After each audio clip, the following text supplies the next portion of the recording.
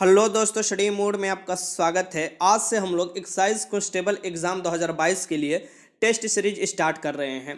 प्रत्येक टेस्ट में एक से लेकर सौ तक प्रश्न होगा। हर प्रश्न का मैं फैक्ट भी बताते चलूँगा। और ये जो भी प्रश्न ही आपको, जो प्लेटफॉर्म बुक है, वहीं से मैं आपको टेस्ट करा रहा हूँ। टोटल पच्चीस टेस्ट कराने वाला हूँ मैं आपके एग्ज़ाम से पहले। जो कि आपके एग्ज़ाम में जैसा प्रश्न आता है, वैसा ही प्रश्न देखने को मिलेगा। बस आप लोगों का यही काम होगा कि एक से लेकर सौ तक प्रश्न ध्यानपूर्वक देखना है और अपना स्कोर ज़रूर बताना है कमेंट बॉक्स में कि आप लोगों ने कितने क्वेश्चन सही किए हैं, ठीक? तो चलिए शुरुआत करते हैं। मैं होप रखता हूँ कि ये वीडियो में आपका कट ऑफ़ पैंसठ। इसका मैं पैंसठ रखता हूँ कि आप लोगों ने पैंसठ क्वेश्चन ज़रूर सही करेंगे। चलिए, शुरुआत करते हैं सबसे पहले क्वेश्चन के साथ, यहाँ पर थोड़ा जूम मैं कर देता हूँ। ध्यान से देखिएगा, अगर कोई क्वेश्चन में डाउट डाउट होगा तो भी बताइएगा, ठीक? यहाँ से देखिए क्वेश्चन नंबर पहला आपके सामने है कि निम्न में से कौन सा निसंकोच शब्द में प्रयुक्त संस्कृत उपसर्ग है। देखिए, उपसर्ग के बारे में पहले बता चुका हूँ कि उपसर्ग जो होता है, ये आपको शब्द के पहले लगकर शाब्दिक अर्थ बदल देता है और जो प्रत्यय होता है, ये शब्द के अंत में लगकर शाब्दिक अर्थ बदल चुका है बदल देता है। और इससे रिलेटेड मैं आपको सभी लेक्चर भी करा चुका हूँ, हिंदी का जो कि प्लेलिस्ट भी बना है, वहाँ से जाकर ज़रूर देख लीजिएगा। निसंकोच निसंकोच में जो शब्द प्रयोग किया गया, ये निह किया गया है, ठीक? नी प्रयोग किया गया है। देखिए नी लगेगा संकोच में तो नी संकोच बनता है। तो यहाँ पर आंसर क्या हो जाएगा? इसका सी हो जाएगा। क्वेश्चन नंबर दो, देखिए, प्रेमचंद्र के अधूरे उपन्यास का नाम क्या है? प्रेमचंद्र के अधूरे उपन्यास जो है, इसका नाम क्या है? इसका नाम है मंगलसूत्र। 1936 में यह प्रकाशित यहाँ पर हुआ था। उपन्यास इनका जो है, ये आपको 1936 में हुआ था। ये नाम है मंगलसूत्र। ये प्रेमचंद्र का अधूरे उपन्यास का नाम है। क्वेश्चन नंबर तीन, देखिए। वर्ग में दिए गए विकल्पों में से तत्सम शब्द का चयन कीजिए। मैं आप पहले भी बता चुका हूँ, तत्सम और तद्भव, देशज और विदेशज। तत्सम जो संस्कृत से डायरेक्ट निकल कर आया है और तत्सम के ही बदला हुआ रूप को तद्भव बोला जाता है। देश में बोलने वाले शब्द को देशज हो जाता है, जैसे कि लोटा हुआ, खिचड़ी हुआ, ये देशज शब्द हो गया। विदेशी वाला शब्द जैसे वकील हुआ, ये सब जो हुआ ये जो स्कूल हुआ, ये सब विदेश शब्द में आ जाएँगे, ठीक? तो तत्सम शब्द, डायरेक्ट संस्कृत से आया हुआ शब्द है तत्सम। यहाँ पर आप देख सकते हैं, ये हो जाएगा आपको इसमें से उलुक। उल्लू मिस उल्लू होता है यह तत्सम शब्द है यह ध्यान में रखिएगा ठीक? तो थ्री के आंसर क्या हो जाएगा? बी हो जाएगा। क्वेश्चन नंबर फोर सम्मुख का विलोम शब्द है। सम्मुख का विलोम शब्द क्या होगा? ये आपको बताना है। बताइए सम्मुख का विलोम शब्द क्या होगा? तो सम्मुख का विलोम शब्द हो, होता है विमुख सम्मुख का होता है विमुख होता है विलोम शब्द। विलोम मिस उल्टा होता है। क्वेश्चन नंबर फाइव देखिए। अकल पर पत्थर पड़ना मुहावरे का अर्थ क्या है? अक्कल पर पत्थर पड़ना मुहावरे का अर्थ क्या है? वीडियो देखिए अगर ज़्यादा आपको फास्ट लग रहा होगा तो रोक लीजिएगा। मैं कोशिश कर रहा हूँ कम समय में आपका अच्छा से करा दूँ सभी प्रश्न ठीक? अकल पर पत्थर पड़ना का होता है बुद्धि भ्रष्ट होना। क्या होता है? बुद्धि भ्रष्ट होना। इसका आंसर क्या हो जाएगा? सी हो जाएगा। आगे चलते हैं। क्वेश्चन नंबर सिक्स देखिए, कमायनी किसकी रचना है? कमायनी जो बुक है, ये किसकी रचना है? ये आपको बताना है। तो कमायनी जो है, ये जयशंकर प्रसाद की रचना है। किसका? जयशंकर प्रसाद की रचना है। ठीक? जयशंकर प्रसाद की महत्वपूर्ण जो रचनाएँ है, यहाँ पर उर्वशी नाम याद रख लीजिएगा। ये पूछता है, किसका है? तो उर्वशी जयशंकर प्रसाद के। आँसू, लहर, ये जो होता है, ये जयशंकर प्रसाद की प्रमुख रचनाएँ होती हैं। क्वेश्चन नंबर सेवन देखिए, शुद्ध वर्तनी का चयन कीजिए। शुद्ध वर्तनी का आपको चयन करना है, इसमें से कौन से शुद्ध है? तो प्रतिष्ठा कैसे लिखते हैं आप लोग? तो प्रतिष्ठा जो लिखा जाता है, यहाँ पर आप लिखिएगा इस तरह से, ठीक? इसका आंसर क्या हो जाएगा? बी होगा। प्रतिष्ठा ऐसे आप लिख सकते हैं, शुद्ध वर्तनी यही होगा। क्वेश्चन नंबर एट देखिए, धरती का प्रवाची शब्द है। धरती का प्रवाची शब्द आपको बताना है, इसमें से क्या है? धरती का प्रवाची शब्द। क्वेश्चन नंबर एट है। तो धरती का प्रवाची शब्द जो है, ये अचला है। क्या है? अचला। ठीक, ये याद रखिए क्वेश्चन पूछता है। प्रवाची मिस समानार्थक होता है। क्वेश्चन नंबर नाइन्थ देखिए इधर उधर घूमता हुआ सन्यासी वाक्य का एक शब्द है। इधर उधर घूमता हुआ सन्यासी के लिए एक शब्द बना, बताना है आपको, जैसे कि अनेक शब्दों के लिए एक शब्द होता है ना वन वर्ड से बोला जाता है इंग्लिश में। तो इसे बोला जाएगा परिवारजक। परिवारजक बोला जाएगा इसे, इधर उधर घूमने वाले सन्यासी को नौ कैंसर ए हो जाएगा। क्वेश्चन नंबर दस देखिए, निम्न में से तत्सम शब्द है। फिर आ गया क्वेश्चन कि निम्न में से कौन सा तत्सम शब्द है? डायरेक्ट संस्कृत से निकल कर आया है। तो परीक्षा यहाँ पर क्या हो जाएगा? तत्सम शब्द हो जाएगा। बाकी महीना, आप देखिएगा, ये कौन होगा तद्भव शब्द हो जाएगा, ठीक? माह जो हो जाएगा, तद्भव शब्द हो जाएगा, ठीक? तो यहाँ पर परीक्षा जो हो जाएगा, ये तत्सम शब्द है। ग्यारह देखिए, कुछ इंग्लिश का क्वेश्चन है, पाँच क्वेश्चन इंग्लिश से भी पूछे जाते हैं। यहाँ पर देखिए select the antonym of given word आपको सेवेज का आपको एंटोनिम्स के प्रार्थक शब्द बताना है। बताइए।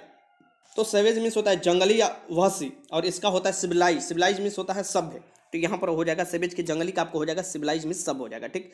तो ग्यारह का आंसर हो जाएगा D select the most appropriate word of filling applicants इसमें आपको मोस्ट अप्रोप्रिएट जो वर्ड है, इसे आपको भरना है। यहाँ पर देख सकते हैं। ही इज़ सिक्स फीट और यहाँ पर आगे क्या होगा? ये आप ध्यान से देखिए। ही इज़ सिक्स फीट आपको बताना है। इसके आगे क्या होगा? क्वेश्चन नंबर बारह है। तो देखिए हम यहाँ पर किसका प्रयोग करेंगे? टॉल को। टॉल को क्यों प्रयोग करेंगे? तो ही इज़ सिक्स पिच बता रहा है मतलब कहीं ना कहीं ये आपको सजीव के बारे में बता रहा है। हाँ ठीक? तो यहाँ पर क्या हो जाएगा? यहाँ पर टाल हो जाएगा। और हाई का प्रयोग हम कब करते हैं? जब यहाँ पर कोई निर्जीव का बताना होता है तो हाई का प्रयोग कर देते हैं, ठीक? तो यहाँ पर हो जाएगा टॉल। मतलब वो छः फीट लंबा है।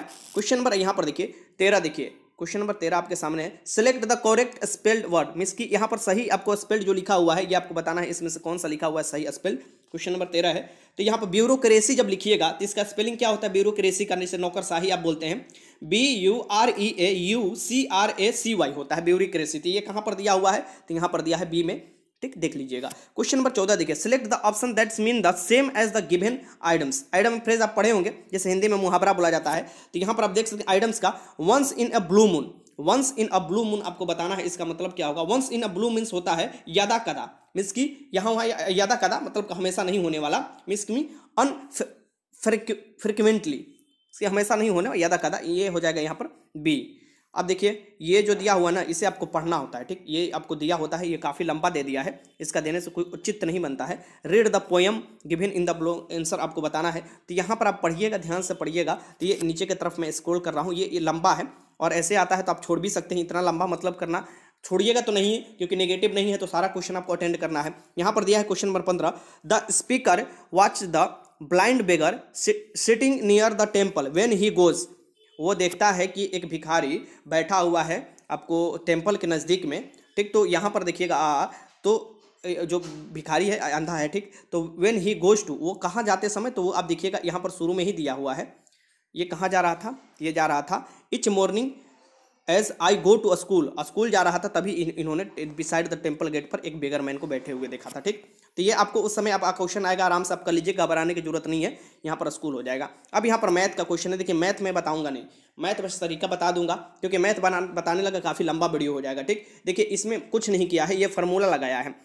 A cube plus b cube plus c cube वाला फार्मूला आप जानते होंगे क्या होता है? A cube plus b cube plus c cube minus three a b c ठीक? अगर ये इसका फॉर्मूला आप देखिएगा तो होता है one by two a a plus b plus c into a minus b के whole square plus b plus c के square plus c minus a के होल स्क्वायर इसी आपको फार्मूला पर बैठाइएगा। चलिए मैं डायरेक्ट आंसर बता देता हूँ। मैथ ज़रूरी है, बताइएगा, बनाइएगा। ये हो जाएगा आपको छियालीस सौ अस्सी। मिस की सोलह का आंसर डी हो जाएगा। क्वेश्चन नंबर सत्रह देखिए। किसी त्रिभुज का क्षेत्रफल ग्यारह सौ छिहत्तर सेंटीमीटर है। यदि आधार एवं संबंधित ऊंचाई का अनुपात तीन, अनुपात चार हो, त्रिभुज की ऊंचाई क्या है? अब इससे अच्छा कौन क्वेश्चन होगा? त्रिभुज का आधार मान लीजिए थ्री एक्स ऊंचाई मान लीजिए फोर एक्स त्रिभुज का क्षेत्रफल क्या होता है? वन बाई टू ये दिया हुआ है क्षेत्रफल तो ग्यारह सौ छिहत्तर यहाँ पर डाल लीजिए, यहाँ पर कर लीजिए वन बाई टू आधार मीस की बेस इंटू हाइट होता है, ठीक? हम मान चुके हैं आधार कितना है तो थ्री एक्स है और हाइट भी हम मान चुके हैं यहाँ पर फोर एक्स तो एक्स का वैल्यू यहाँ पर निकाल कर आइएगा तो चौदह निकल कर आ जाएगा। तो क्या हो जाएगा यहाँ पर आराम से आप चौदह निकाल कर आइएगा तो ऊंचाई क्या हो जाएगा? चौदह चौके छप्पन हो जाएगा, ठीक? क्योंकि ऊंचाई का अनुपात कितना है? फोर है यहाँ पर चौदह चौके छप्पन हो जाएगा। क्वेश्चन नंबर अठारह, देखिए, यदि दो भाई तनु और मनु की वर्तमान आयु का अनुपात तीन अनुपात पाँच है, बारह वर्ष पूर्व मनु की आयु कितनी थी? यदि उनका वर्तमान आयु में अंतर तीस वर्ष है वर्तमान यहाँ पर दे रहा है, वायु में अंतर तीस वर्ष है तो बारह वर्ष पूर्व जो है, मनु की आयु कितनी थी ये पूछ रहा है, ठीक? तो ये निकाल लीजिएगा, आयु पर सवाल है, इसका आंसर हो जाएगा आपको तिरसठ।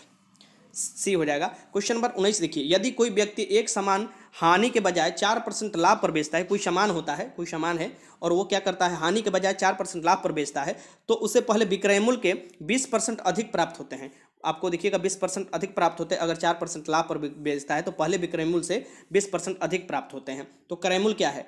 पहले बेचा करता था तो वो आपको हानि होता था, लेकिन चार परसेंट अगर लाभ पर बेचता है तो उसे विक्रय मूल्य से बीस परसेंट अधिक प्राप्त होते हैं। तो इसमें बताना है कि क्रय मूल्य क्या होगा? वस्तु के मूल्य यहाँ पर, ये आपको बताना है, ठीक? तो यहाँ पर हो जाएगा दो सौ पचास।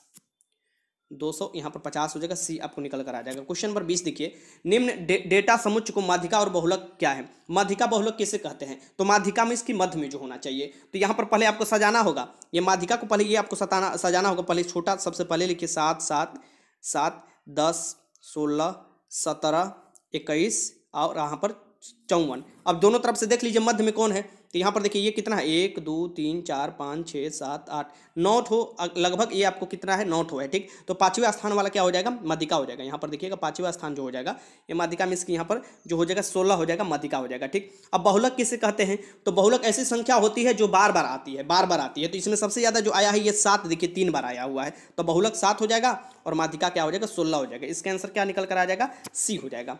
आगे देखिए क्वेश्चन नंबर इक्कीस देखिए। यदि दस आदमी या दस लड़के किसी काम को पंद्रह दिन में करते हैं तो पच्चीस आदमी और पंद्रह लड़के उसी काम को कितने दिन में करेंगे? ये आपको बताना है।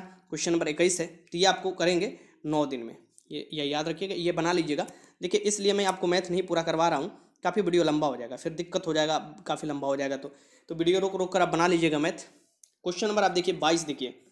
क्वेश्चन नंबर बाईस, एक अनिल ने एक लॉटरी जीती और इनामी राशि का वन थर्ड भाग उसे मिलता है। एक लॉटरी जीती और इनामी राशि का एक तिहाई भाग उसे मिलता है और वह छः हज़ार रुपये जो वन सिक्सवा भाग है, दान कर देता है। तो लॉटरी की कीमत के वो छः हज़ार रुपये दान कर देता है। वन तीन भाग में उसे मिलता है। छः हज़ार रुपये दान कर देता है, जो कि एक छठा भाग है। तो उसको लॉटरी की कीमत क्या थी? आसान है। वन वन छठा भाग छः हज़ार दे रहा है। तो इसमें से एक निकाल कर आप पूरा लॉटरी का दाम निकाल सकते हैं। तो बाईस के आंसर क्या यहाँ पर निकल कर आ जाएगा? ये आपको एक लाख आठ हज़ार हो जाएगा, ठीक? ये निकल कर आ जाएगा, आराम से बना लीजिएगा। अब क्वेश्चन नंबर यहाँ पर देखिए तेईस देखिए क्वेश्चन नंबर तेईस क्या कर रहा है? आंकड़े का बहुलक क्या है? तो सबसे ज़्यादा जो आया होगा वही बहुलक होगा, ऊपर ही मैंने आपको बताया। इसमें सबसे ज़्यादा कौन सा आया है संख्या? तो वन बाई टू देखिए, ये आपको बार बार आ रहा है। तीन बार आया है वन बाई टू तो यही आपका आंसर क्या हो जाएगा? बहुलक वन बाई टू हो जाएगा। इसका आंसर भी हो जाएगा। क्वेश्चन नंबर आपको चौबीस देखना है। ग्यारह सदस्यों की एक क्रिकेट टीम ने औसतन तेईस रन यहाँ पर देखिए, बनाए। यदि पहले खिलाड़ी ने 113 रन बनाए तो अन्य खिलाड़ियों की औसत रन ज्ञात कीजिए। आपको याद रखिएगा कि ग्यारह सदस्यों की टीम ने औसतन तेईस रन बनाए हैं। पहले खिलाड़ी ने 113 रन बनाया है तो इसमें से 113 घटा दीजिए 10 इंटू आपको यहाँ पर पहले इतना निकाल लीजिए 10 इंटू तेईस कर लीजिए, ठीक? फिर एक घटाइएगा तो यहाँ पर माफ़ कीजिएगा, ग्यारह इंटू तेईस कीजिएगा तो पूरा निकल कर आ जाएगा। उसमें से एक घटा दीजिए, फिर आपको दस इंटू जितना बचेगा वो निकल कर आ जाएगा। आराम से आप निकाल लीजिएगा। इसमें दस खिलाड़ियों का औसतन जो रंग आ जाएगा, ये चौदह आ जाएगा, ठीक? इसको बनाने का बहुत से तरीका है। अब जैसे आप बनाना चाहते हो, वैसे आप बना लीजिए। जैसे ग्यारह खिलाड़ियों का जो औसत दिया है, तेरह दिया है तो उनका निकाल लीजिए, दो सौ तिरपन आ जाएगा। ग्यारह इंटू कीजिए मतलब कि तेईस कीजिएगा तो। ठीक? और पहले खिलाड़ी कारण 113 दिया है तो 10 खिलाड़ियों को एक, दो, अब पहले यहाँ पर दो जो आया है, और एक खिलाड़ी घटाइएगा तो इसमें से दस ही खिलाड़ी बचेंगे तो 113 घटा दीजिए, यहाँ पर 140 बच जाएगा तो 10 से फिर भाग दीजिए तो 14 आ जाएगा आंसर तो यहाँ पर क्या हो जाएगा? बी हो जाएगा। क्वेश्चन नंबर पच्चीस देखिए कि अट्ठाईस मीटर ब्यास वाले एक वृत्तकार मैदान को समतल करने करने की लागत क्या होगी? यदि एक सौ प्रति वर्ग मीटर शुल्क है तो यहाँ पर क्या करना है? आपको क्षेत्रफल बस निकालना ब्यास यहाँ पर दिया हुआ है। तो ब्यास के त्रिज्या कीजिएगा तो आधा हो जाता है। तो यहाँ पर कर लीजिए। पाई आर स्क्वायर होता है, क्षेत्रफल निकाल लीजिए यहाँ पर आराम से। यहाँ पर देखिए, पाई का वैल्यू आपको बाईस बाई सात भी रखना है। यहाँ पर चौदह हो जाएगा क्योंकि ब्यास का आधा होता है त्रिज्या तो यहाँ पर निकल कर आपको आ जाएगा। फिर जो इतना पैसा लग रहा है, क्षेत्रफल निकल कर आ जाएगा, उसमें से एक सौ पच्चीस से गुणा कर दीजिएगा। तो छः सौ सोलह आ जाएगा, उसमें एक सौ पच्चीस से गुणा कीजिएगा तो सतहत्तर हज़ार आ जाएगा। यहाँ पर आंसर क्या हो जाएगा? सी हो जाएगा। देखिए टोटल दस मैथ पूछता है, तीस साइंस को पूछता है, तीस साइंस पूछता है, दस मैथ पूछता है, ठीक? तो ध्यानपूर्वक बस देखते देखते चलिए। क्वेश्चन नंबर छब्बीस देखिए। यहाँ पर घबराने की ज़रूरत नहीं, हर तरीका से मैं आपको सोल्यूशन कराते चलूँगा, ठीक? अभिक्रिया H two O plus S C L आपको दिया है H three O plus plus C L minus में जल का आचरण बिहेवियर क्या होगा? इसमें जल कैसा बिहेव कर रहा है? ठीक, ये दिया हुआ है। इस अपक्रिया में जो एच टू है, ये भस्म जैसा काम कर रहा है। कैसा काम कर रहा है? भस्म जैसा काम कर रहा है, ठीक? ये ध्यान में रखिएगा। ठीक? और देखिएगा, आप देखिएगा एच जो होता है में इसकी पानी जो होता है, ये बहुत ताप पर, सौ डिग्री ताप पर देखिएगा खोलने लगता है। तो आखिर इतने ज़्यादा ताप देने पर ही क्यों खोलता है? क्योंकि इसमें हाइड्रोजन बंद होता है। हाइड्रोजन बंद मज़बूत बंद है, जिसके कारण आपको देखिएगा, ये काफ़ी जकड़ा होता है और कथनांक अधिक होता है, क्योंकि हाइड्रोजन बंद इसमें पाया जाता है एच में। ये भी आपसे पूछ सकता है तो मैंने बता दिया। क्वेश्चन नंबर सताईस देखिए। उपाचायक वह पदार्थ है जो, उपाचायक कौन सा पदार्थ होता है जो इलेक्ट्रॉन को त्याग करता है? उपाचायक पदार्थ कौन होता है? जो इलेक्ट्रॉन को त्याग करता है। इसके क्या आंसर हो जाएगा यहाँ पर? यहाँ पर ध्यान रखिएगा क्वेश्चन आपसे पूछ रहा है कि त्याग करता है तो इलेक्ट्रॉन को त्याग करता है, इसके आंसर बी हो जाएगा। इलेक्ट्रॉन जो होता है ना, ये परमाणु के बाहर ही पाया जाता है, बाहर जो कि ऋण आवेशित होता है, और प्रोटोन न्यूट्रॉन जो पाया जाता है, ये आपको नाभिक में पाया जाता है, ठीक? क्वेश्चन नंबर अट्ठाईस, देखिए संयोजकता में संयोजकता में क्या होता है? संयोजकता पढ़े होंगे ना तो इसमें क्या होता है, ये आपको बताना है। तो संयोजकता में दोनों परमाणु क्या होता है? इलेक्ट्रॉन साझा करते हैं मतलब दोनों परमाणु के इलेक्ट्रॉनों को क्या होता है? सजधारी होता है, ठीक? तो इसका आंसर हो जाएगा, दोनों परमाणु के द्वारा इलेक्ट्रॉनों को क्या होता है? सजेदारी होता है, ठीक? इसका आंसर क्या हो जाएगा? बी हो जाएगा संयोजकता में। क्वेश्चन नंबर उनतीस, देखिए, द्रव्यमान संरक्षण के नियम सत्य नहीं है। किसके लिए दमान द्रव्यमान संरक्षण के नियम सत्य नहीं है? द्रव्यमान संरक्षण का नियम क्या कहता है? जिस पर आइंस्टीन ने फॉर्मूला भी दिया था ई बराबर एम सी स्क्वायर ठीक ये क्या कहता है? कि न तो आपको द्रव्यमान बनाया जा सकता है, नहीं, उसको नष्ट किया जा सकता उसका एक रूप से दूसरे रूप में बदला जा सकता है। ये भी आपका द्रव्यमान संरक्षण के नियम आप कहलाता है, या ऊर्जा संरक्षण के नियम के बराबर ही इसे आप देखा जाता है, ठीक। तो यहाँ पर द्रव्यमान ये पूछ रहा है कि किसके लिए नहीं एप्लीकेबल होगा? तो ये रेडियो एक्टिव परिवर्तन के लिए, क्योंकि रेडियो एक्टिव परिवर्तन के लिए इसलिए एप्लीकेबल नहीं होगा, क्योंकि वहाँ पर बार बार आपको रेडियो एक्टिव परिवर्तन जो होता है, वो आपको खत्म होते रहता है धीरे धीरे ठीक? तो ये सत्य नहीं है। यौगिक नाभिक का द्रव्यमान विखंडन उत्पादन द्रव्यमानों के योग के अधिक होना चाहिए, ठीक? इसके आंसर, उनतीस के आंसर क्या हो जाएगा? ए हो जाएगा। अब यहाँ पर आपसे क्वेश्चन है तीस। आवेश या द्रव्यमान का मान बढ़ते हुए क्रम में है। तब जब याद होगा तभी आप लगा पाइएगा, ठीक? लेकिन यहाँ पर ट्रिकली भी आप लगा सकते हैं, अगर एक भी जान रहे हैं। यहाँ पूछ रहे हैं आवेश बटा में द्रव्यमान। आवेश आपको पता होना चाहिए और द्रव्यमान भी पता होना चाहिए, ठीक? तो आप सभी लोगों को पता होना चाहिए कि जो न्यूट्रॉन होता है उसमें कोई आवेश नहीं होता है। आप यहाँ पर देखिए, मान लीजिए ये आपको परमाणु है, बाहर इलेक्ट्रॉन है, ठीक? मैं ट्रिकली आपको बता रहा हूँ, नाभिक में क्या होता है? प्रोट्रॉन होता है। और प्लस न्यूट्रॉन होता है। ये देखकर आप देखिएगा अवेश बटा में द्रव्यमान देखिएगा तो पहले ही छोड़कर क्वेश्चन भाग जाइएगा। ये जो इलेक्ट्रॉन होता है ये रेडी आवेशित जो परमाणु के बाहर होता है प्रोटॉन जो होता है ये घन आवेशित होता है। न्यूट्रॉन पर कोई चार्ज नहीं होता है। मीन्स कि न्यूट्रॉन पर चार्ज ज़ीरो होता है मान लीजिए। ज़ीरो होता है द्रव्यमान कोई भी हो उससे भाग दीजिएगा तो ज़ीरो ही आएगा। ठीक ये, ये तो आपको पता है। तो यहाँ पर ये बोल रहा है कि द्रव्यमान या अवेश द्रव्यमान के मान बढ़ते हुए क्रम में आपको लगाना है। ठीक?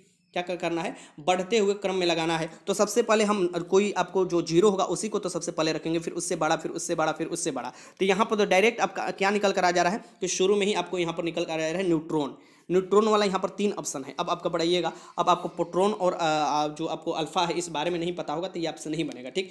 अल्फ़ा में देखिएगा कि अल्फ़ा में दो अवेश होता है। ठीक? अब यहाँ पर देखिएगा, अवेश जो होता है द्रव्यमान, इसका चार हो जाता है तो ये क्या हो जाएगा? वन बाई टू हो जाता है मीन की पॉइंट फाइव हो जाता है। तो न्यूट्रॉन के बाद क्या आएगा? अल्फ़ा आ जाएगा। तो यही आपका देखिएगा डी वाला ऑप्शन में आराम से सही होगा। पहले न्यूट्रॉन होगा, उससे बड़ा क्या होगा? अल्फ़ा हो जाएगा।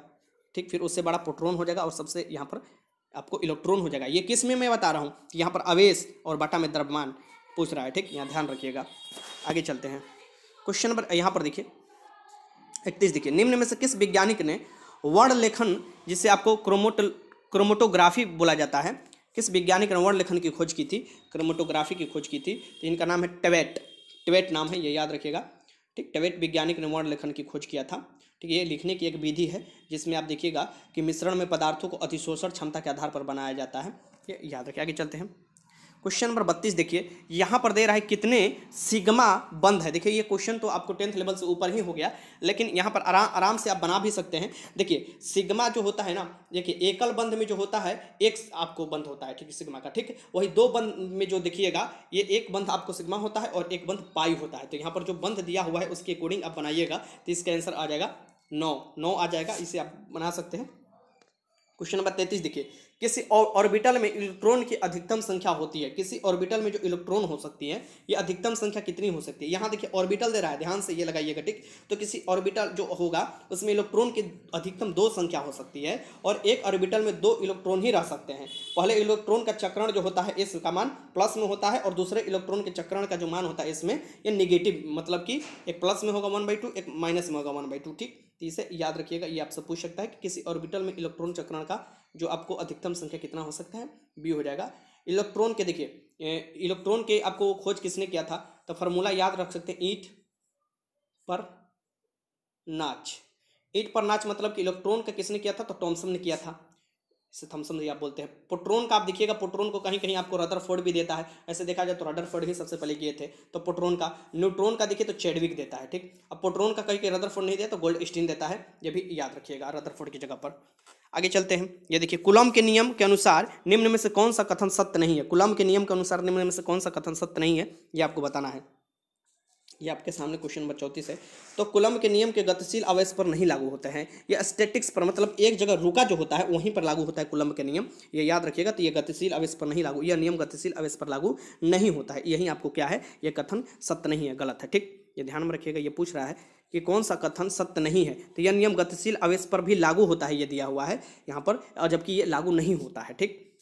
आगे देखिए क्वेश्चन नंबर पैंतीस देखिए, कोई ऑप्टिशियन शक्ति, यहाँ पर देखिए, कोई ऑप्टिशियन शक्ति जो है, ऑप्टिक्स सब पड़े हैं ना प्रकाश में तो ऑप्टिशियन शक्ति minus zero point five diameter, यहाँ पर देखिए इस, इसको क्या बोला डी को आपको जो मापा जाता है, ये क्षमता मापा जाता है, फोकल दूरी आपको जो होता है किसी भी, आपको चश्मा का देखिएगा, उसमें डाइप्टर जिसे बोला जाता है, ये क्षमता मापता है, ठीक, लेंस की क्षमता, ठीक तो ये डाइप्टर दिया हुआ है, और ये संगत लेंस कैसा होना चाहिए तो यहाँ पर सबसे आपको क्या पकड़ना होगा, ये माइनस दिया हुआ है तो यहाँ पर आप देखिएगा एफ़ भी माइनस में ही आएगा तो माइनस में जब आएगा ये तो आराम से ये क्या हो जाना चाहिए, आपको अवतल लेंस हो जाना चाहिए, ठीक तो ये अवतल लेंस होगा, और इसको बदलिएगा तो पी बराबर क्या होता है पावर बराबर वन बाई एफ़ होता है और यहाँ पर पी कितना दिया है? ज़ीरो पॉइंट फाइव दिया है। तो यहाँ पर एफ़ निकालिएगा तो माइनस टू आ जाएगा, टू मीटर। माइनस जब आएगा तो ये अवतल लेंस होगा, टू आ जाएगा तो यहाँ पर क्षमता या इसका आ जाएगा मतलब कि फोकल दूरी आ जाएगा। तो टीम दो मीटर फोकस दूरी वाला अवतल लेंस हो जाएगा। ठीक, पैंतीस का आंसर सी हो जाएगा। क्वेश्चन नंबर छत्तीस के निम्न में से कौन सी राशि अधीश है?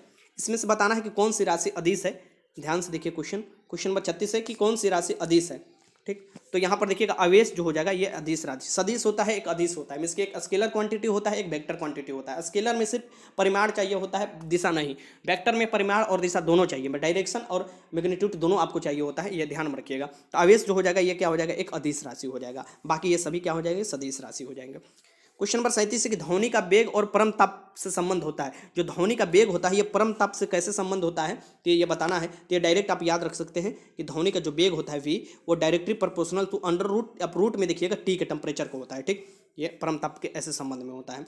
ठीक, ध्वनिक जो आपको डेसिबल में मापा जाता है और ध्वनिक जो होता है ना, ध्वनि निम्न कारकों पर निर्भर करता है, ध्वनि जो बदलता है अपना बदल सकता है, ये कौन? तापमान बढ़ाने से बढ़ सकता है, आर्द्रता पर निर्भर करता है, गैस के अणु भार और माध्यम के गति पर निर्भर करता है, क्योंकि निर्वात में आपको नहीं गति कर सकता है, ध्वनि ये भी ध्यान में रखिएगा, उसको कोई ना कोई माध्यम चाहिए होता है। क्वेश्चन नंबर अड़तीस देखिए, पच्चीस हॉर्स पावर शक्ति के एक फ्रीटर फ्रिएट कार चालीस किलोमीटर प्रति घंटा की एक समान गति से चल रही है। इंजन द्वारा गति की दिशा में लगाया गया बल अब ये पच्चीस हॉर्स पावर दे रहा है। मतलब कि इसका यहाँ पर दिया हुआ है। पावर दिया हुआ है, पच्चीस हॉर्स पावर ठीक? अब यहाँ पर दे रहा है कि फिर चालीस किलोमीटर प्रति घंटा तो चालीस किलोमीटर का आपको घंटा से मीटर प्रति सेकेंड में आपको बदलना पड़ेगा सबसे पहले। तो इसको मीटर प्रति सेकेंड में बदलने के लिए फाइव बाई अठारह से आपको क्या करना पड़ेगा? गुणा करना पड़ेगा। चालीस में क्या करना पड़ेगा आपको? इंटू करना पड़ेगा। फाइव बाई अठारह मीटर प्रति सेकेंड में बदलिएगा तो इसका मान निकल कर आ जाएगा, ठीक? फिर आपको क्या करा है कि ये पच्चीस हॉर्स पावर था, एक आपको हॉर्स पावर में सात सौ छियालीस होता है तो पच्चीस हॉर्स पावर में सात सौ पच्चीस इंटू सात सौ छियालीस आपको हो जाएगा, ठीक? यहाँ एफ़ निकालिएगा तो एफ़ बराबर क्या होता है? एफ़ बराबर होता है बल। अब यहाँ पर पी बराबर सबसे पहले यहाँ पर फॉर्मूला मैं बता देता हूँ। पी बराबर होता है पावर पावर बराबर क्या होता है? एफ़ इंटू बल आप मतलब कि एफ़ इंटू वेलोसिटी आप लिख सकते हैं, ठीक? बेग लिख सकते हैं। बल इंटू आपको बेग होता है, ठीक? अब यहाँ पर एफ़ निकालना है, क्योंकि ये पूछ रहा है कि इंजन द्वारा दिशा में लगाया गया बल पूछ रहा है तो पी बाई भी हो जाएगा। अब यहाँ पर मैंने पी इसीलिए बताया, आपको पी बाई भी हो जाएगा। तो भी का तो हम बदल लिए यहाँ पर, इसमें गुणा कर कर मैंने बताया, पाँच बाई अठारह से गुणा कर लीजिएगा। पी को पी को यहाँ पर क्या हो जाएगा तो पच्चीस इंटू क्या हो जाएगा, एक हॉर्स पावर में सात सौ छियालीस होता है। पूछता है आपको, एक हॉर्स पावर में कितना आपको होते हैं तो सात सौ छियालीस वाट होता है, ठीक? अब यहाँ पर क्या कीजिएगा, ये ये आपको नीचे की तरफ़ क्या कीजिएगा तो भी वेलोसिटी निकालिएगा तो चालीस इंटू पाँच बाई अठारह कर लीजिए। ठीक, अब यहाँ पर काटम कुटम कीजिएगा तो यहाँ पर निकल कर आ जाएगा सोलह न्यूटन यहाँ पर आ जाएगा निकल कर, ठीक? तो इसका आंसर क्या हो जाएगा? इनमें से कोई नहीं हो जाएगा, क्योंकि यहाँ पर सोलह पाँच न्यूटन आ रहा है, जो कि ऑप्शन में नहीं है तो आपको अड़तीस का आंसर हो जाएगा डी। आगे देखिए, क्वेश्चन नंबर उनतालीस। यदि दो आवेशों के बीच की दूरी दुगनी कर दी जाए तो लगने वाले बल होते हैं। अब यहाँ पर आप कुलम्ब के नियम पढ़े होंगे। कुलम्ब के नियम नियम क्या कहलाता है?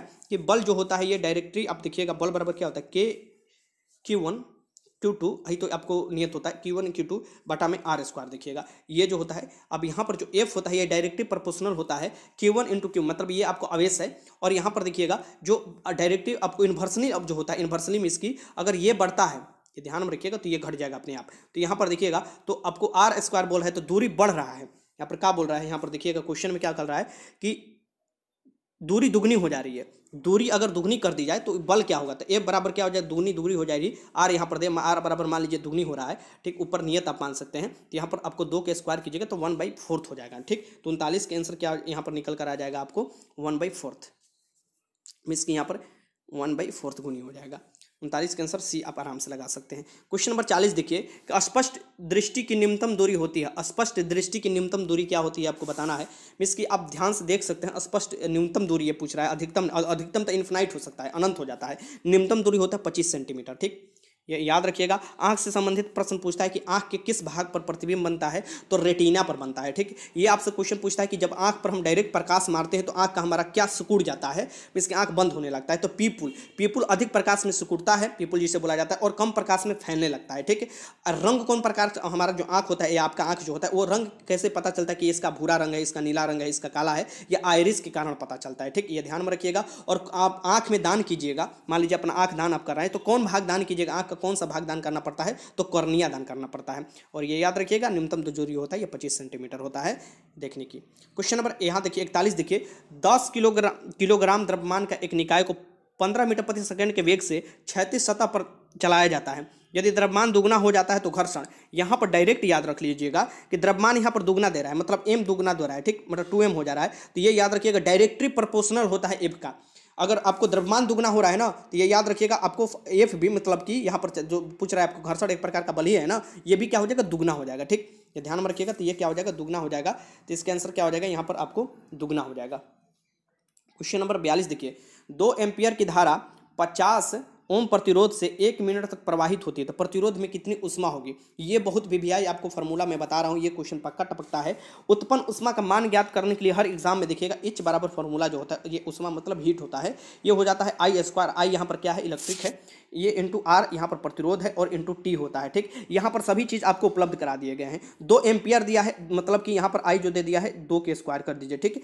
यहाँ पर धारा पचास ओम दिया है, यहाँ पर पचास इंटू कर दीजिए, ठीक? मिनट में दिया है तो मिनट में यहाँ पर दिया है तो आप क्या कीजिएगा? यहाँ पर ध्यान से रखिएगा, इसको क्या कर दीजिएगा? सेकेंड कर लीजिएगा। एक मिनट में कितना होता है? साठ सेकेंड होता है। बस यहाँ पर दो दुनिया के चार हो जाएगा, दो सौ हो जाएगा, दो सौ में अच्छे से गुणा कीजिएगा तो कितना आ जाएगा? बारह हज़ार जूल आ जाएगा, ठीक? तो इसका आंसर क्या हो जाएगा यहाँ पर?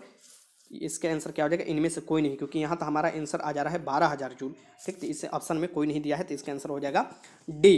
या याद रखिएगा, क्वेश्चन फिर मैं बता देता हूँ, हिट का फॉर्मूला आप याद रखिएगा, लिख लीजिए, अभी अभी लिख लीजिए, आई स्क्वायर आर टी। यहाँ पर जो आर आई है, विद्युत है, विद्युत धारा, आर यहाँ पर प्रतिरोध है, टी जो है, ये समय है, सेकेंड में लीजिएगा टी हमेशा। क्वेश्चन नंबर तिरालीस, देखिए, धमनी एवं सीरा में रक्त का पीएच होता है। देखिए, धमनी और सीरा समझना पड़ेगा।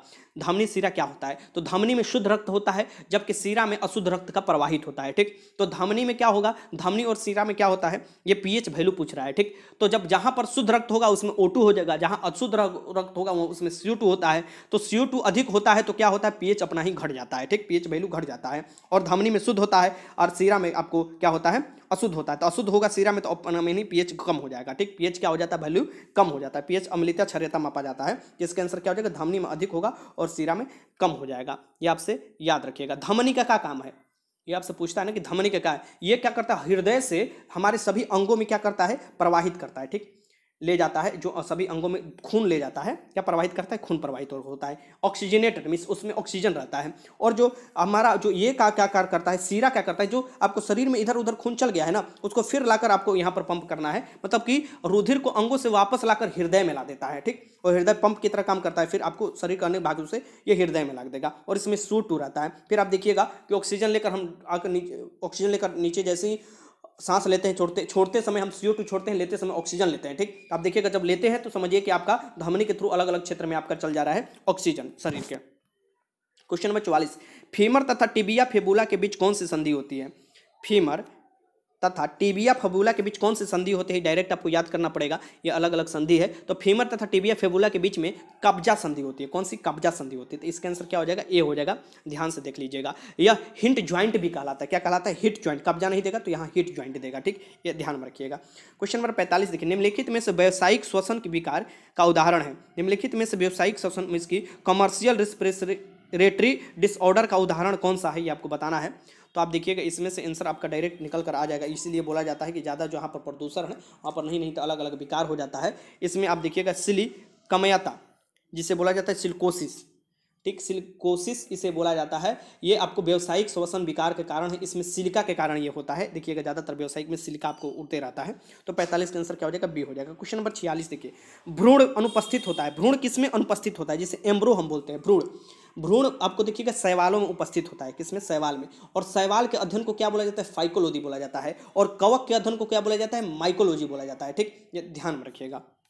क्वेश्चन नंबर सैंतालीस, देखिए, केब चक्र, आपको जो केब साइकिल बार बार आप पढ़ते हैं कि केब चक्र जो है, ये किससे संबंधित है, या केब चक्र क्या करता है, ठीक? तो केब जो चक्र है ना, ये अपचय और उपचय दोनों करता है। अपचय, उपचय दोनों काम करता है और ये माइट्रोकोन्ड्रिया से संबंधित है। तो अपचो और उपचय दोनों काम करता है, ये माइट्रोकोन्ड्रिया में होता है और ये ऊर्जा उत्पादन करता है। माइट्रोकोन्ड्रिया में केब चक्र द्वारा ही ऊर्जा उत्पादन होता है और आपको पता है, ये एटी के रूप में होता है, ऊर्जा उत्पादन। और एटीपी को क्या बोला जाता है, ये याद रखिएगा एटीपी को एनर्जी करेंसी बोला जाता है। और माइट्रोकोन्ड्रिया को क्या बोला जाता है, कोशिका का ऊर्जा गृह बोला जाता है। क्वेश्चन नंबर अड़तालीस देखिए।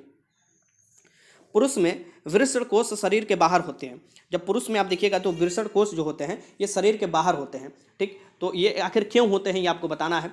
ठीक? तो देखिए, शरीर का तापमान जो होता है ना, वो अधिक होता है, लेकिन वृषण कोर्स बाहर इसलिए रखा गया है कि तापमान कम हो, क्योंकि वहीं पर क्या बनता है? शुक्राणु बनते हैं। नर में जो आपको होते हैं, वो शुक्राणु जो बनते हैं, नर युग्मक में, वही बनते हैं, इसलिए मतलब कि उसका टेम्परेचर कम रहना चाहिए। मतलब शुक्राणु का निर्माण के लिए समान शरीर के तापमान की तुलना में कम तापमान की आवश्यकता होती है, इसलिए वो बाहर होता है वृषण कोष। ठीक? तो इसका आंसर अड़तालीस का आंसर हो जाएगा सी। क्वेश्चन नंबर उनचास देखिए। पैतृकता सिद्ध करने के लिए निम्न में से कौन सहायक है? पैतृकता सिद्ध करने के लिए निम्न में से कौन सा सहायक ये आपको बताना है? तो आप लोग भी न्यूज़ में पढ़ते होंगे इधर उधर कि पैतृकता सिद्ध करने के लिए डीएनए फिंगर प्रिंटिंग लिया जाता है। डीएनए फिंगर प्रिंट लिया जाता है और भारत में डीएनए फिंगर प्रिंटिंग के जन्मदाता जिसे बोला जाता है, उनका नाम है प्रोफेसर लाल सिंह और ऐसे अगर पूछा जाए कि सबसे पहले किसे बोला जाता है? पूरे विश्व में देखा जाए डीएनए फ्रीडम प्रिंटिंग का जन्मदाता द एलिज जेफ्रिज को बोला जाता है, ठीक? इसका आंसर क्या हो जाएगा? डी हो जाएगा। डीएनए अंगुली छाप। क्वेश्चन नंबर पचास देखिए, नाक से रुधिर का बहाना कहलाता है। कभी कभी देखिएगा नाक पर चोट लग जाता है या ना ना चोट भी लगता है तो नाक से रुधिर बहने लगता है। इसे बोला जाता है एपिटेकिस। यहाँ पर हो जाएगा एपिटिक्स। इसके आंसर क्या हो जाएगा? डी हो जाएगा। क्वेश्चन नंबर इक्यावन देखिए, पढ़कर मैं सुना देता हूँ, और ये थोड़ा धुंधला दिखाई दे रहा है, लेकिन मैं पढ़कर आपको सुना देता हूँ, कोई दिक्कत नहीं होगा। निम्नलिखित में से कौन सा विकल्प विद्युत धारा के तापन प्रभाव के उदाहरण नहीं है? विद्युत धारा के तापन, जिस ताप के कारण जो चलता है, ये वही आपको पूछ रहा है कि उदाहरण नहीं है। इसमें दे रहा है विद्युत स्त्री, इसकी जो आयरन हम समान भाषा में बोलते हैं तो यहाँ पर दिया है। यहाँ पंखा की कार्यशीलता मतलब जो फ़ैन चलता है ऊपर वाला, उसका कार्यशीलता बल्ब दिया हुआ है और यहाँ पर विद्युत केतली दिया है। विद्युत केतली आपको सुन दिखाई नहीं दे रहा, लेकिन दे रहा हुआ है। तो आप सभी लोग जानते हैं कि जहाँ पर ताप के कारण जो काम कर जैसे कि विद्युत केतली ताप पे ही काम आता है, जो आपको बल्ब होता है, ये आपको ताप से ही ताप आपको उत्पन्न करता ही कहें। विद्युत स्त्री जो है, ये ताप उत्पन्न करता ही है। तो यहाँ पर या पंखे की कार्यशीलता जो होती है, ये इस पर कार्य नहीं करता है। तो ये पूछ रहा है कि उदाहरण नहीं है तो इक्यावन के आंसर क्या हो जाएगा? बी हो जाएगा। ये कौन सा सिद्धांत पर काम करता है? तो ये विद्युत धारा विद्युत धारा के चुंबकीय प्रभाव पर काम करता है, पंखे की कार्यशीलता, ठीक? इसके आंसर क्या हो जाएगा? ये बी हो जाएगा। विद्युत धारा के तापन प्रभाव पर काम नहीं करता है। जैसे कि हीटर हो गया, उसमें नाइक्रोम तार लगाया जाता है, ठीक? और जैसे कि जो आपको क्या होता है, गर्म कर देता है, जैसे फिलामेंट हुआ, उसमें विद्युत जाएगा तो टंगस्टन का जो बना होता है फिलामेंट बल्ब का, वो भी गर्म कर देता है पूरा बल्ब को स्त्री हुआ आपको, या विद्युत जो केतली हुआ, केतली में पानी उनी गर्म जो करते हैं आप।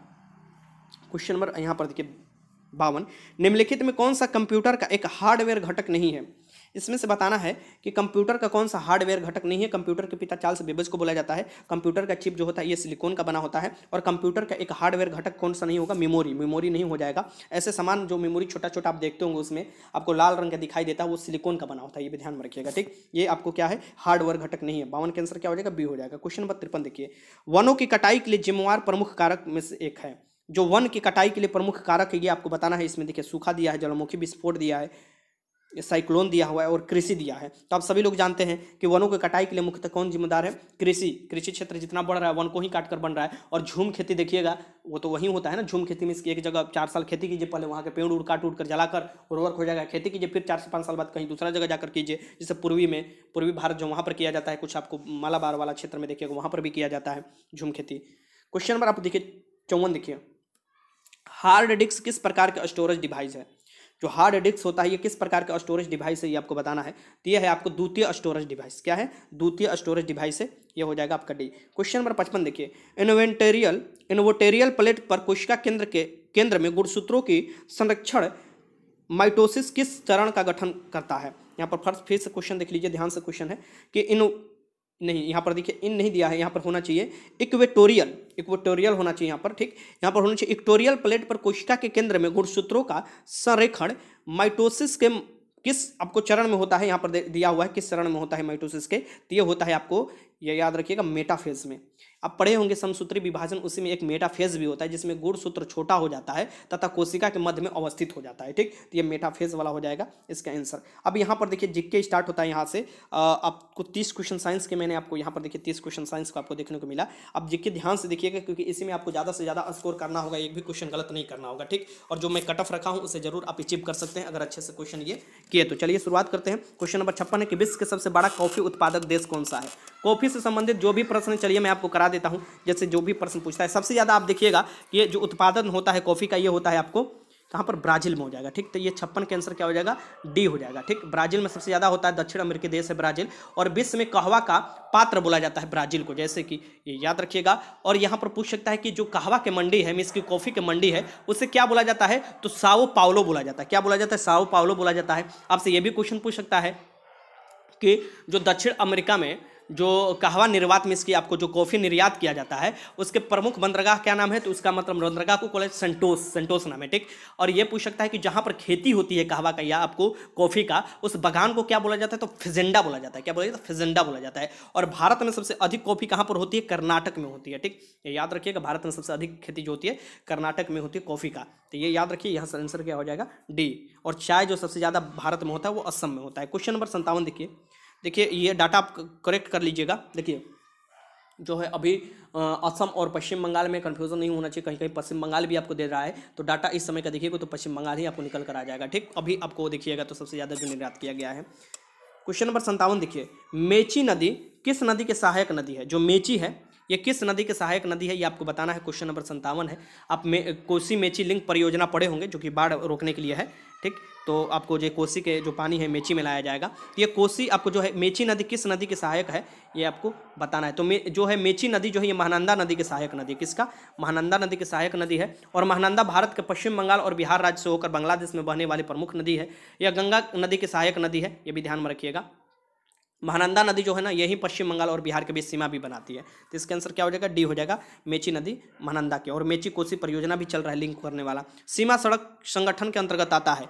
जो सीमा सड़क संगठन है, जिसे बीआरओ बोला जाता है, ठीक, ये याद रखिएगा। ये जो आता है, किसके अंतर्गत आता है? ये रक्षा मंत्रालय के अंतर्गत। जो भी बॉर्डर वाला रोड है ना, आपको बनाना है, इसके अंतर्गत आता है। और इसकी स्थापना जो किया गया था, सीमा सड़क सड़क संगठन, जिसे बीआरओ बोला जाता है, उन्नीस सौ साठ में किया गया था। जो बॉर्डर वाला जो क्षेत्र होता है ना आपको इंटरनेशनल बॉर्डर वाला जो उधर का रोड वोड बनाता है यही बनाता है। क्वेश्चन नंबर उनसठ देखिए। बारह दो बारह दोआब के बीच क्षेत्र है। दोआब किसे कहते हैं? तो दो नदियों के बीच के क्षेत्र को ही दोआब कहा जाता है। और ये बारह बा, बारी दोआब बारी दोआब किस किस दो नदी के बीच में है? तो बारी जो दोआब है ये आपको ब्यास और रावी नदी के बारी ब्यास और रावी नदी के बीच में है। ठीक यहाँ पर बस से ब्यास और र से रावी इसे ही बारी दोआब कहा जाता है। और दोआब वाला क्षेत्र बहुत उपजाऊ होता है ये भी ध्यान में रखिएगा। आब आब का मतलब पानी होता है। दो पानी के बीच के क्षेत्र को ही आप बोला जाता है। उसमें ज़्यादातर जलोढ़ मिट्टी पाया जाता है और भारत में सबसे ज़्यादा जलोढ़ मिट्टी, आपको ये याद रखिएगा, पाया जाता है। और दोआब वाले क्षेत्र में उपजाऊ होता है, वहाँ पर ज़्यादा कृषि भी होता है। और सबसे ज़्यादा जो दोआब वाला क्षेत्र मिलता है, ये यमुना और गंगा के बीच में मिलता है, ठीक? क्वेश्चन नंबर साठ देखिए। दुल्हनों द्वारा पहने जाने वाली पोटलोई पोशाक किस राज्य से संबंधित जो पोटलोई पोशाक पहना जाता है, ये किस राज्य से संबंधित है, ये आपको बताना है। तो यह है दुल्हन द्वारा पोटलोई पोशाक पहना जाता है मणिपुर। मणिपुर में एक पार्क भी केबिल लमजो। याद रखिएगा, तैरता हुआ जो ध्यान बोला जाता है, केबिल लमजो पर ही। ठीक? क्वेश्चन नंबर इकसठ देखिए, मलेशिया का मुद्रा है। मलेशिया की मुद्रा क्या है? मलेशिया में जो मुद्रा चलता है, उसका क्या नाम है? तो इसका नाम है रिगित। रिंगिट है। रिंगिट मलेशिया की मुद्रा है, ठीक? यूरो जो है, यूरोपियन देश में देखिएगा देखने को मिलता है। कबाच, कबाचा किस देश की मुद्रा है ये पूछता है। तो अंगोला की मुद्रा है। और पेसो पेसो आपको देखिएगा, दक्षिण अमेरिकी देश, जैसे अर्जेंटीना, चिली, कोलंबिया, यहाँ पर पेसो चलता है, ठीक? आगे देखिए क्वेश्चन नंबर बासठ। भारत के उच्चतम न्यायालय की प्रथम महिला न्यायाधीश कौन थी? यहाँ पर देखिए, ध्यान से क्वेश्चन भारत के उच्चतम न्यायालय के प्रथम महिला न्यायाधीश पूछ रहा है आपको कौन थी? तो भारत के उच्चतम न्यायालय के प्रथम महिला न्यायाधीश जो है एम फातिमा बीबी थी। कौन थी? एम फातिमा बीबी। आंसर हो जाएगा डी।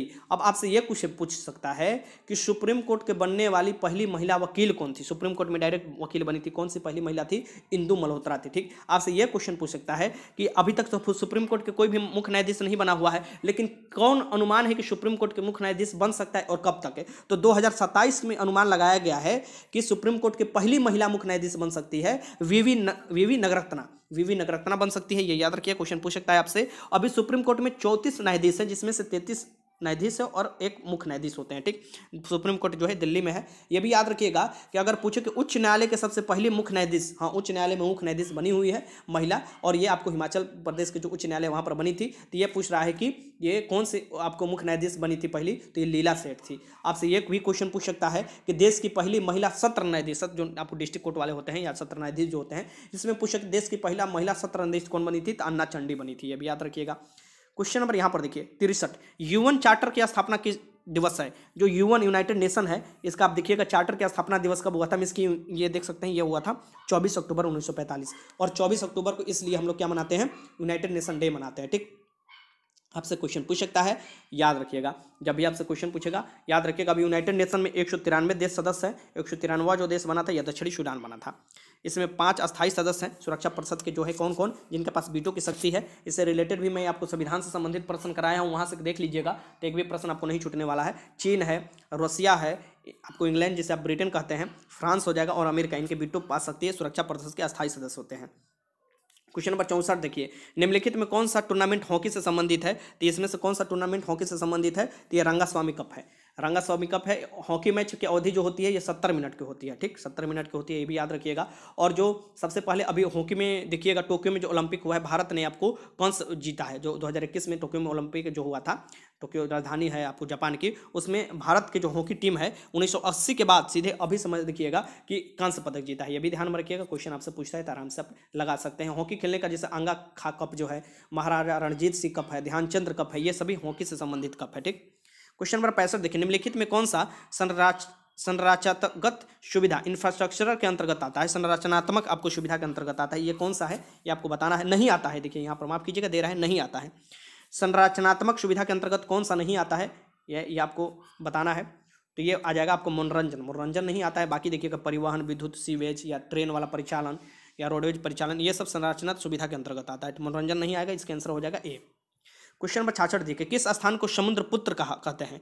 किस स्थान को समुद्र पुत्र कहते हैं? आप पढ़े अपने मम्मी से या किसी भी घर में आप सुने होंगे कि हर तीर्थ बार बार और गंगा सागर एक बार। तो गंगा सागर जो है, ये तीर्थ को आपको क्या बोला जाता है? समुद्र पुत्र बोला जाता है। गंगा सागर जो है, ये आपको देखिएगा, पश्चिम बंगाल में मिलता है। मंदिर है, यहाँ पर लोग जाते हैं तीर्थ करने के लिए। छाछठ के आंसर क्या हो जाएगा? यहाँ पर सी हो जाएगा। तो गंगा सागर समुद्र पुत्र कहा जाता है। हुगली नदी के तट पर बीस किलोमीटर लंबा ये आपको सागर द्वीप है, जिसे संगंगा सागर द्वीप कहा जाता है, ठीक? आगे चलते हैं। क्वेश्चन नंबर सड़सठ देखिए। निम्नलिखित में से किस ग्रंथ ने गांधी जी को सूर्योदय के दर्शन का सूत्रपात करने के लिए प्रेरित किया? सूर्योदय सूर्योदय में इसके सबका उदय होना चाहिए, सबका उत्थान होना चाहिए, इसका मतलब यही होता है। इस दर्शन का सूत्रपात करने के लिए प्रेरित किया था, इनका बुक जो नाम है यह है unto this last unto this last है, इसका आंसर क्या हो जाएगा? सी हो जाएगा। क्वेश्चन नंबर सिक्सटी एट देखिए। गौतम बुद्ध ने अपना अंतिम उपदेश कहाँ दिया था? गौतम बुद्ध जो है, महात्मा बुद्ध जी ने बोला जाता है, बौद्ध धर्म की जो स्थापना किए थे। ये आपको देखिएगा कि अंतिम जो उपदेश दिए थे, ये कहाँ दिए थे? तो ये कुशीनगर में, क्योंकि वहीं पर, यहाँ पर देखिएगा। ये आपको एक सिक्सटी एट के आंसर क्या हो जाएगा? गौतम बुद्ध ने अपना पहला उपदेश सारनाथ में दिया था और अंतिम उपदेश दिया था कुशीनगर में दिए थे। इनका जन्म सबसे ज़्यादा जो उपदेश दिए थे, ये भी पूछ सकता है, जन्म भी पूछ सकता है। तो इनका जन्म जो हुआ था, सबसे पहले ये याद रखिएगा, यहाँ पर जो इनका जन्म हुआ था, ये कपिल वस्तु में हुआ था। कहाँ पर हुआ था? कपिल वस्तु के लुम्बनी नामक स्थान पर हुआ था, पाँच सौ तिरसठ ईस्वी पूर्व में हुआ था, ठीक है? और यहाँ पर जो सारनाथ में सबसे पहले इन्होंने क्या दिया था?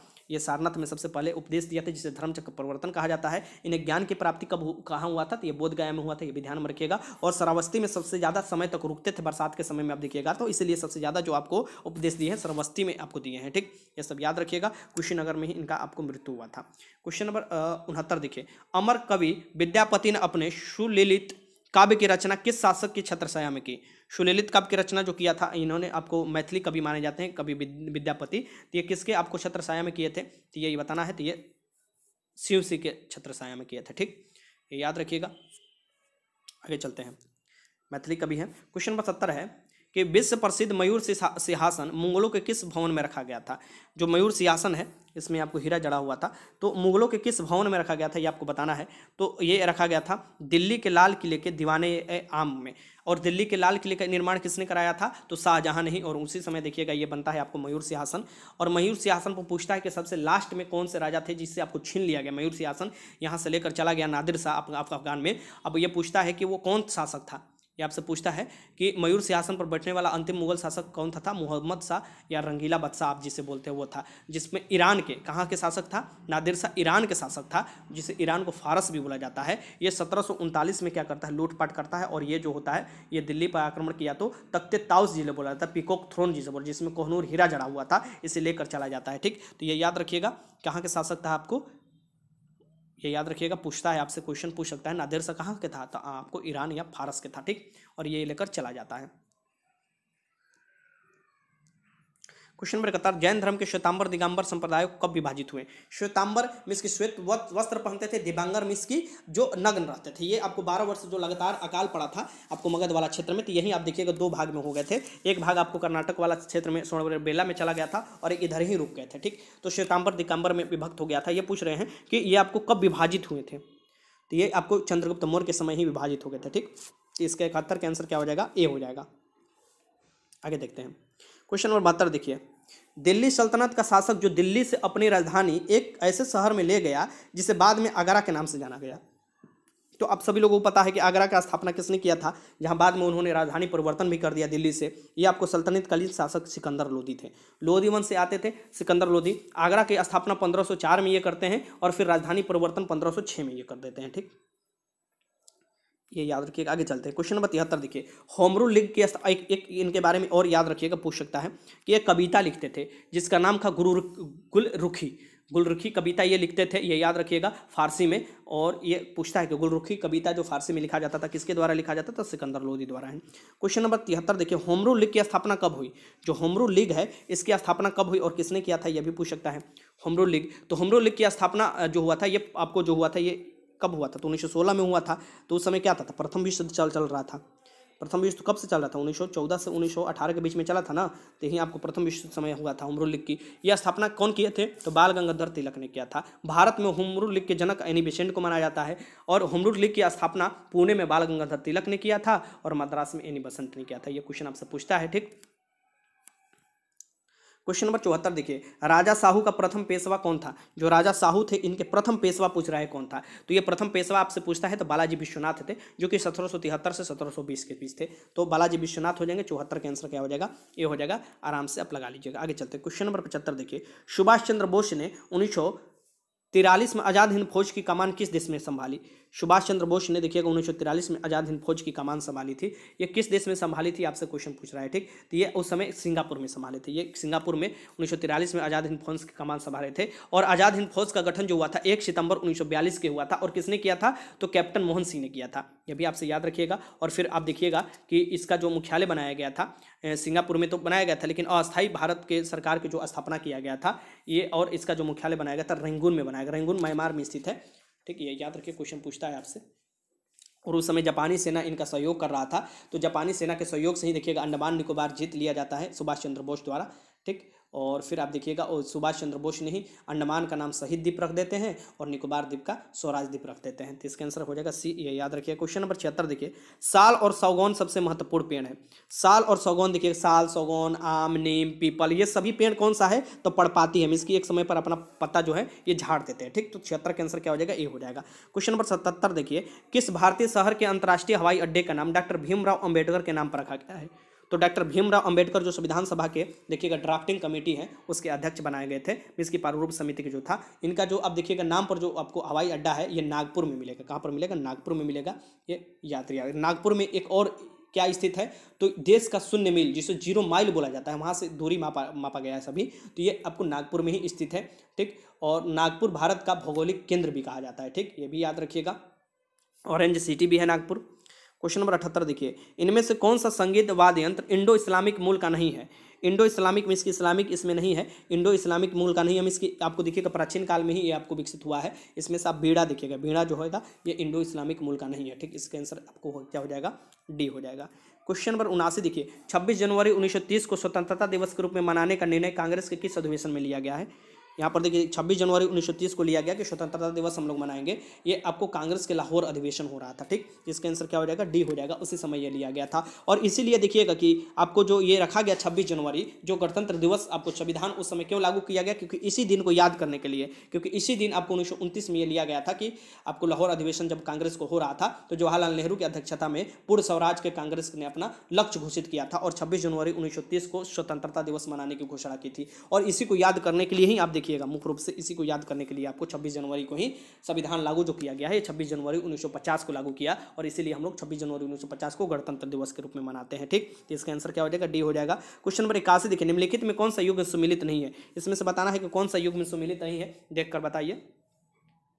तो देखिए, इसमें से आप अगर सुमिलित करते हैं तो कौन सा नहीं होगा? आप आराम से देखकर बताइएगा तो ये आराम से हो जाएगा कि पूना सार्वजनिक सभा। पूना सार्वजनिक सभा की स्थापना जो किया गया था एम जी रनाडे द्वारा अठारह सौ सड़सठ में किया गया था। तो यहाँ पर एम जी रनाडे हो जाएगा। ठीक? सर्वेंट ऑफ़ इंडिया सोसाइटी का स्थापना गोपाल किस गोखले ने किया था? उन्नीस सौ पाँच में ये बात सही है। राम किस मिशन या मठ की जो स्थापना किया गया था, ये स्वामी विवेकानंद द्वारा किया गया था, लेकिन ये अठारह में किया गया था। यहाँ पर कर लीजिएगा, यहाँ पर संतानवे लिख लीजिए। गदर पार्टी जो है, ये हरदयाल और परमानंद काशीराम द्वारा उन्नीस सौ तेरह में किया गया था। ये भी बात सही है। बस इसमें जो मिलान नहीं सही है, ये आपको डी वाला है। ये फिरोज सा मेहता यहाँ पर नहीं होगा। यहाँ पर हो जाएगा क्या? एम जी रानाडे हो जाएँगे, ठीक? आगे देखिए क्वेश्चन नंबर इक्यासी देखिए। विश्व के सबसे बड़ा डेल्टा सुंदरवन डेल्टा, जिसका क्षेत्रफल है। विश्व के सबसे बड़ा डेल्टा है सुंदरवन डेल्टा, जो कि गंगा और ब्रह्मपुत्र नदी द्वारा बनाया जाता है। इसका क्षेत्रफल जो है, ये पचहत्तर वर्ग केमी है। त्रिभुजकार है, ये याद रखिएगा। जहाँ नदी आकर अपना अंत करती है, वहीं पर आप देखिएगा माटी लाकर छोड़ देती है, वहीं डेल्टा का निर्माण हो जाता है, ठीक? यहाँ पर सुंदरी नामक वन पाया जाता है, इसलिए इसका नाम सुंदरवन डेल्टा रखा गया है। क्वेश्चन नंबर बयासी देखिए। अरब सागर और फारस की खाड़ी जुड़े हुए हैं। अरब सागर और फारस की खाड़ी किसके जुड़े हुए हैं? कौन से आपको जल डमरू मध्य द्वारा जुड़े हुए हैं? तो अरब सागर और जो फारस की खाड़ी है, हारमुज जल डमरू मध्य द्वारा जुड़े हुए हैं। कौन से? हारमुज जल डमरू मध्य। इसका आंसर क्या हो जाएगा? बी हो जाएगा। अल बाब अल मंडेब जल, जो जल संधि है ये कौन कौन जोड़ता है? तो ये जोड़ता है लाल सागर को और अरब सागर को। लाल सागर को अरब सागर को जोड़ता है ये याद रखिएगा। पाक जल डमरू मत किसको जोड़ता है? तो ये आप देखिएगा भारत और श्रीलंका के बीच में स्थित है। ये आपको बंगाल की खाड़ी और अरब सागर को जोड़ता है। फिर आप देखिएगा कि शुंडा पूछता है। शुंडा पूछता है कौन से जोड़ता है? तो ये जावा सागर और हिंद महासागर को जोड़ता है। ये भी ध्यान में रखिएगा। आपसे क्वेश्चन पूछेगा तो आराम से आप लगा लीजिएगा। आप चलिए आगे देखते हैं। क्वेश्चन नंबर तिरासी देखिए निम्नलिखित में से कौन सा स्थान का दैनिक तापांतर उच्च होता है? दैनिक तापांतर में इसकी दिन का तापमान आपको अलग होगा और आपको मतलब दिन का तापमान अलग होता है, रात का अलग होता है, लेकिन उन दोनों के बीच में काफ़ी डिफरेंट कब हो जाएगा? तो जब दिन का काफ़ी ज़्यादा होगा और रात का कम हो जाएगा या रात में काफ़ी ज़्यादा होगा, दिन का कम हो जाएगा तो उसमें घटाइएगा तो तापांतर ज़्यादा निकल कर आ जाएगा। जितना समुद्र वाला क्षेत्र है ना, समुद्र क्षेत्र, इसमें आपको देखिएगा, दिन में भी लगभग उतना ही तापमान होता है समुद्र वाले क्षेत्र में और रात में भी वही तापमान होता है। सबसे जो दैनिक तापांतर देखने को मिलता है, वो मिलता है आपको रेगिस्तान वाला क्षेत्र में, क्योंकि उसमें आपको दिन में देखिएगा तो खूब गर्मी होता है और रात में बालू इतना ठंडा हो जाता है कि खूब ठंडा लगने लगता है। तो तापांतर सबसे ज़्यादा जो देखने मिलेगा, राजस्थानी वाला क्षेत्र में मिलेगा। फिर आप देखिएगा दिल्ली वाले क्षेत्र में तो इसका आंसर हो जाएगा दिल्ली। क्या कि बम्बई कोलकाता, मद्रास, यही समुद्र के किनारे स्थित है। इसमें आपको तापांतर जो होता है दैनिक, ये कम मिलता है, ठीक? दिल्ली वाले क्षेत्र में ज़्यादा मिलेगा। आगे देखिए, क्वेश्चन नंबर चौरासी, बद्रीनाथ किस नदी के तट पर बसा हुआ है? तो बद्रीनाथ कौन सी नदी के तट पर बसा हुआ है, ये आपको बताना है। तो बद्रीनाथ अलकनंदा नदी के तट पर बसा हुआ है, ठीक? ये याद रखिए कौन सी नदी? अलकनंदा नदी पर, ठीक? और ये याद रखिएगा, पूछता है कि अलकनंदा और भागीरथ मिलकर कहाँ पर गंगा बनती है? तो देवप्रयाग में बनती है। क्वेश्चन आपसे पूछे तो आराम से लगा लीजिएगा। टोम्बोलो स्थलाकृति का निर्माण किस प्रक्रम द्वारा होता है? टोम्बोलो जो स्थलाकृति है, इसका निर्माण किस प्रक्रम द्वारा होता है, ये आपको बताना है। बताइए। टोम्बोलो स्थलाकृति का निर्माण किस प्रक्रम द्वारा होते हैं? तो टोम्बोलो स्थलाकृति का निर्माण होता है, जो होता है, ये कैसे होता है? तो सागरीय जल द्वारा होता है, सागरीय जल द्वारा होता है, ठीक? तो इसी हो जाएगा इसका आंसर। अब देखिए, यहाँ से मैं थोड़ा इसको छोटा कर लेता हूँ। हम्म। ये रहा आपका क्वेश्चन। क्वेश्चन नंबर देखिए, एटी सेवन देख लीजिए। पहाड़ के ढलानों पर मुख्य रूप से क्या उगाया जाता है? पहाड़ के ढलानों पर मुख्य रूप से क्या उगाया जाता है, ये आपको बताना है। पहाड़ के ढलानों पर मुख्य रूप से चाय उगाया जाता है। पहाड़ी वाला क्षेत्र में देखिएगा, क्या ढलानी वाला देखिएगा तो ये आपको क्या उगाया जाता है? चाय उगाया जाता है, ये याद रखिएगा। भारत में सबसे अधिक चाय उत्पादन आप देखिएगा, अभी डाटा करेक्ट कर लीजिएगा क्वेश्चन आपसे पूछ सकता है कि कहाँ पर होता है, ठीक? चाय जो होता है अब चाय के लिए महत्वपूर्ण जो है, ये आपको एक देखिएगा, दार्जिलिंग फ़ेमस है। दार्जिलिंग कहाँ पर स्थित है? तो ये पश्चिम बंगाल में है। बहुत लोग आप क्वेश्चन मार देंगे, नहीं, पश्चिम बंगाल में है, ये ध्यान में रखिएगा। आपसे क्वेश्चन पूछ सकता है। भारत में जो कहवा मिस्क कॉफ़ी सबसे ज़्यादा होता है, ये कहाँ पर होता है? कर्नाटक में होता है। ये भी याद रखिएगा। चाय का सबसे ज़्यादा उपभोग मिस्क यूज़ जो करता है, ये भारत ही करता है। और सबसे ज़्यादा उत्पादक कौन सा है? तो चीन है। क्वेश्चन नंबर एटी एट देखिए, भटकल बंदरगाह किस राज्य में स्थित है? जो भटकल बंदरगाह है ना, ये आपको कर्नाटक राज्य में स्थित है।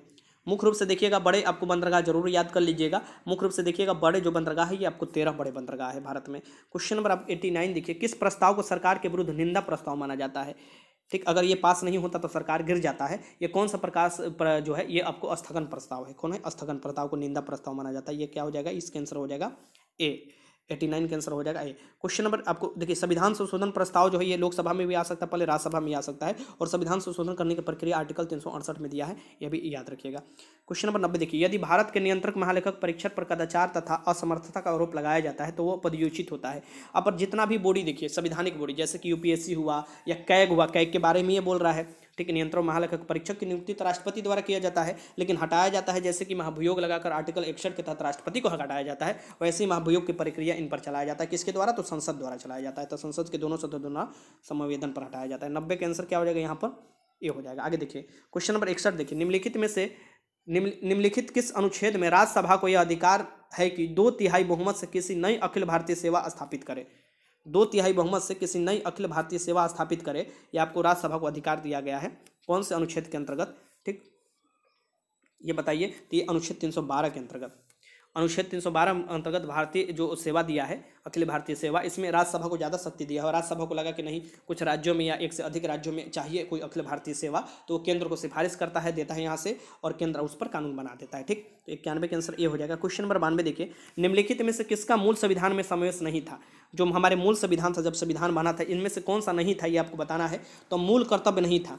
मूल कर्तव्य जो जोड़ा गया था, ये बयालीसवें संविधान संशोधन उन्नीस सौ छिहत्तर द्वारा जोड़ा गया था।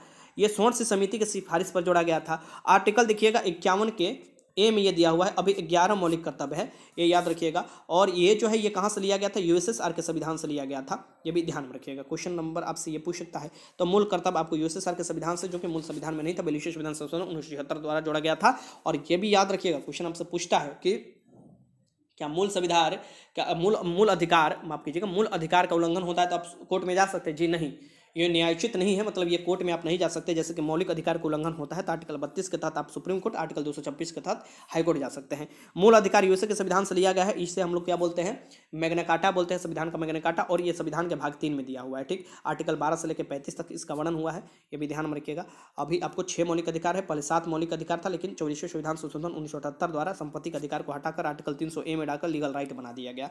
नीति निषद तक डीपीएसपी आयरलैंड के संविधान से लिया गया है, और ये आप देखिएगा संविधान के भाग किस किसमें है? तो चार में है। ठीक? और नागरिकता संविधान के भाग दो में है। भारत में एकल नागरिकता है, ये भी ध्यान में रखिए। क्वेश्चन नंबर आपको तिरानवे।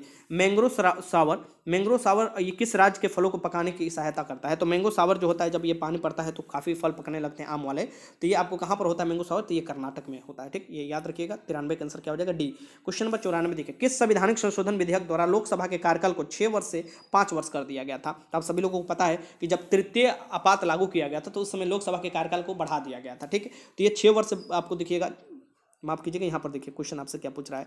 किस संविधानिक संशोधन विधेयक द्वारा लोकसभा के कार्यकाल को छह वर्ष से पाँच वर्ष कर दिया गया था? ये देखिए, ये क्वेश्चन आपसे पूछ रहा है।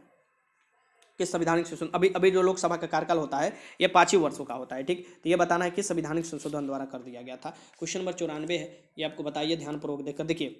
मैं आपको बता दूँ कि जो आपको पाँच वर्ष ही पहले था, लेकिन तृतीय आपात जब उन्नीस सौ पचहत्तर में लागू हुआ, उन्नीस सौ पचहत्तर से आपको सतहत्तर तक चला था देखिएगा, इंदिरा गांधी लागू करती है आंतरिक अशांति के आधार पर तो पाँच वर्ष बढ़ाकर छः वर्ष कर दिया गया था, बयालीसवें संविधान संशोधन कर कर। लेकिन फिर से जब आपको मतलब कांग्रेस की सरकार हटती है और आपको जनता सरकार आती है, मोरारजी देसाई प्रधानमंत्री बनते हैं तो चौबीसवें संविधान संशोधन किया गया और छः वर्ष जो किया गया था, उसे घटाकर पाँच वर्ष कर दिया गया, ठीक? तो ये छः वर्ष से घटाकर पाँच वर्ष जो कर दिया गया था, चौबीसवें संविधान संशोधन। मिनी कॉन्स्टिट्यूशन बयालीसवें संविधान को इसलिए बोला जाता है, इसकी आपको छोटा संविधान बोला जाता है, या मिनी कॉन्स्टिट्यूशन क्योंकि इसमें बहुत परिवर्तन किए गए थे और उस समय आपात लागू किया गया था। और जिसे सुधारा गया था अलग अलग संशोधन चौलीसवें संशोधन द्वारा, ठीक? पंचानवे देखिए, सेल की स्थापना कब हुई थी? सेल जो है, ये इसकी स्थापना क्या फुल फॉर्म भी पूछ सकता है। तो इसका होता है भारतीय इस्पात प्राधिकरण लिमिटेड ठीक? Steel authority of India limited आपको होता है, ये आपको बताना है। इसके जो सेल की स्थापना हुआ था, ये उन्नीस सौ चौहत्तर में हुआ था, ठीक?